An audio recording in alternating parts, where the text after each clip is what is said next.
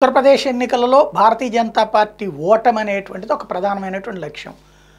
ఆత్మసాక్షి వాళ్ళ సర్వేలో త లేటెస్ట్గా వాళ్ళు ఇస్తున్నటువంటి పాయింట్స్లో ఎందుకు ఓడిపోతుంది? యోగి ఆదిత్యనాథ్ దారుణంగా ఓడిపోబోతున్నాడు అన్నటువంటిది వాళ్ళు మళ్ళీ తాజాగా ఇచ్చినటువంటి లెక్కలో కూడా. ఏంటి అంటే మతపరమైనటువంటి విభజనలో హిందువులు ఏమో సాలిడ్గా ఓటేయట్లేదు. హిందువుల్లో ఓట్ల విభజన జరిగింది.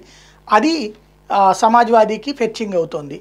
సేమ్ టైం ముస్లింలు పోలరైజ్ అయ్యారు క్రైస్తవులు పోలరైజ్ అయ్యారు.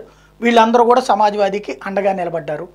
ఇంకొక వైపుని చూస్తే మహిళల్లో కూడా ఎక్కువగా పెద్ద ఎత్తున ఇటు వీళ్ళకే ఓటేస్తున్నారు అఖిలేష్కి. మహిళలలో కూడా విపరీతమైనటువంటి ఆదరణ ఉంది.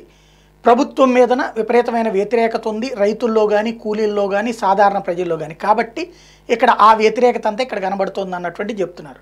ఇక్కడ తాజాగా కమ్యూనిస్టులు దీని మీద ప్రొజెక్షన్ ఏంటంటే ఓటమి ఖాయం మా పిలుపులు అక్కడ ఫలిస్తున్నాయి అన్నటువంటిది.